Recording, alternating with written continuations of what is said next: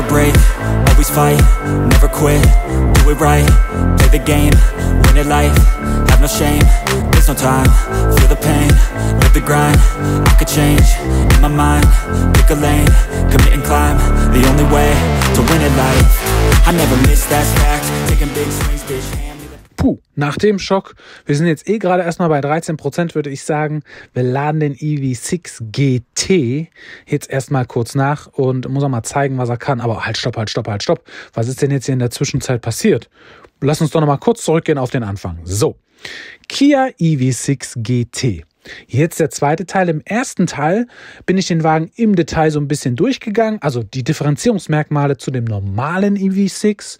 Das ist halt nicht nur die Leistung, sondern auch ein bisschen optische Merkmale und, und, und.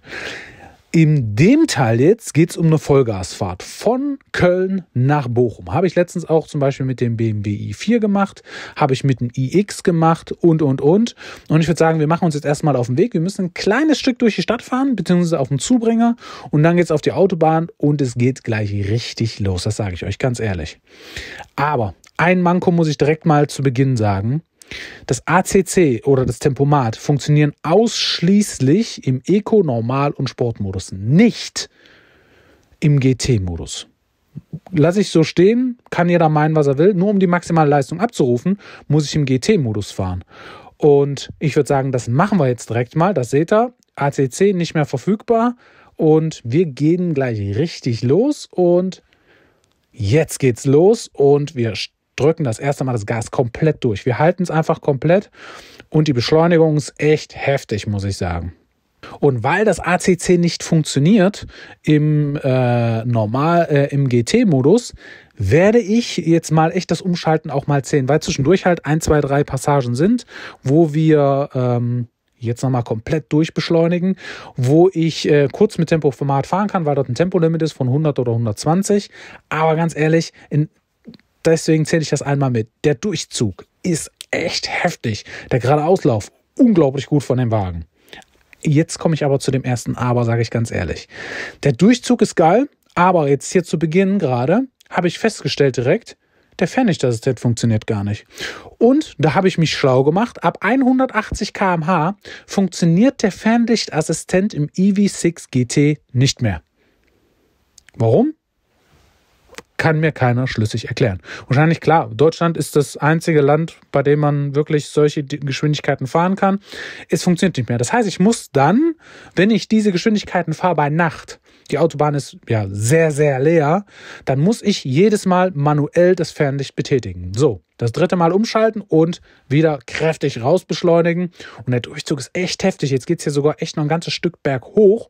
Und der zieht, zieht, zieht, zieht, zieht über 200 und es geht. Hier kurz ein bisschen Verkehr, das gehört halt dazu. Und jetzt wieder direkt weiter über 200 und halten. Aber das mit dem Fernlichtassistenten, sage ich ganz ehrlich, echt ein No-Go. Tabu. Die weitere Fahrt vom EV6 GT finde ich sehr angenehm. Bis auf, dass in langgezogenen Kurven mit der Wagen sehr nervös vorkommt im Vergleich zu einem BMW i4 zum Beispiel, den ich irgendwo in diese Richtung ansiedeln darf kommt er mir sehr nervös vor, so dass ich mich da nicht so ganz getraue, wirklich dann auf dem Gas teilweise zu bleiben, sage ich ganz ehrlich. Ist mit Sicherheit irgendwo ein Gewohnheitsthema. Wenn man häufiger oder länger den Wagen fährt, gewöhnt man sich vielleicht daran. Für mich ist das dann manchmal, dass ich dann in der langgezogenen Kurve vielleicht nur die 180, 190 fahre und nicht wie mit dem i4, äh, wie mit äh, einem anderen Wagen, wie mit dem i4, wo ich den hatte, auch als 50er, wirklich dann auch mal mit 200 oder 210 die Kurve weiterfahre. Ansonsten sieht man hier wunderbar Driving Assistant an. Das Thema läuft wirklich tippitoppi, wirklich Bombe. Das ist wirklich schön, muss ich sagen. Und jetzt geht es nochmal raus, das drei, siebte Mal umstellen. Und jetzt kommt nochmal so eine richtig lange Passage, wo wir richtig Gas fahren können. 220, 230, ja, 210 und halten. Und hier sind halt so ein bisschen länger gezogene Kurven. Ah, da muss man dann schon manchmal, also ich zumindest manchmal vom Gas gehen, hier nochmal kurz ein bisschen Verkehr und dann nochmal komplett raus beschleunigen auf weit über 230. Hier kommt die Batteriemeldung. Das Akku ist gleich leer. So, das achte Mal stellen wir jetzt um. Also achtmal habe ich den Fahrmodus gewechselt Boah, weiß ich nicht. Ganz ehrlich, lasst einfach im GT-Modus das Tempomat aktivieren. Warum? Warum kann ich das nicht? Also im BMW kann ich es zum Beispiel machen, einfach im Sportmodus kann ich einfach Tempomat einmachen. Okay, lasse ich mal so stehen. Jetzt geht's zu dem Verbrauch. Also angekommen im EV6 GT. So, 194 Kilometer bin ich gefahren mit 30,8 kW-Stunden Durchschnittsverbrauch. 71 Kilometer gefahren mit 47,6 kW-Stunden. Piep, muss ich jetzt mal echt so sagen. 47,6 für 71 Kilometer Vollgas. Also ich habe mich auf der Hinfahrt schon so ein bisschen negativ äh, ausgedrückt dazu, dass für eine chillige Fahrt 21,5 dastehen. Jetzt, ja, der Vergleich zum BMW i440 hinkt irgendwo, sage ich ganz klar, mit 28,9 kW-Stunden. Aber 47,6, jetzt rede ich fast über 20 kW mehr. Boah. Wir sind jetzt mit 14% Akkustand hier angekommen bei mir. Suchen jetzt direkt mal eine Ladestation. So, was haben wir denn jetzt hier direkt in der Nähe? Sim, sim, sim. Das ist echt schön, muss ich sagen. Wirklich cool gemacht. So, hier vorne direkt bei mir, Wittner Straße, da sind viermal 300 kW. Da fahren wir jetzt mal Flux hin. Hier sind wir jetzt angekommen mit 13 Prozent, denn ich will noch mal gucken, was denn mit Schnellladen. So, hier einmal die Tankklappe bzw. Ladeklappe quasi öffnen. Und dann sieht das so aus, finde ich schon sehr cool. Hm? Gefällt mir, sage ich ganz ehrlich. Nützliches Thema, macht man sich die Hände vielleicht nicht dreckig, wenn der Wagen wirklich siffig ist. Und wir starten jetzt mal den Ladevorgang. Denn ich bin mal gespannt, was der EV6 GT laden kann. Also 13% haben wir jetzt. Das Akku ist vielleicht nicht mehr so auf Spitzentemperatur, sage ich auch ganz ehrlich. Aber er kann maximal mit 240 kW laden. So, jetzt lädt er zügig hoch. Das muss man sagen. Das passt schon mal. So, dreistellig sind wir schon mal. So, und wir laden jetzt faktisch gerade mal so, naja, eine knappe halbe Minute. 150 haben wir überschritten. Und schon haben wir die 200 überschritten. Puh, das ist schon ordentlich. So, jetzt sind wir bei 200. Na, Bildschirm gesperrt. Na, toll. Super. Okay, 215. Halte ich nochmal kurz die Karte davor. Sim, sim, sim, sim, sim. Was haben wir jetzt? 216 kW. Ja, nach einer Minute. Boah, das ist schon ordentlich. Das ist schon echt ein Brett.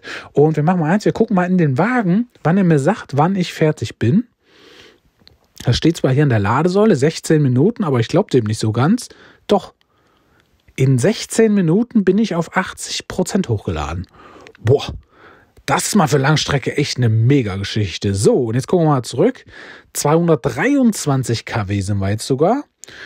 Und wir haben 11,5, knapp 12 kW-Stunden jetzt reingehauen. Vier Minuten haben wir geladen und für meinen Testlauf reicht das.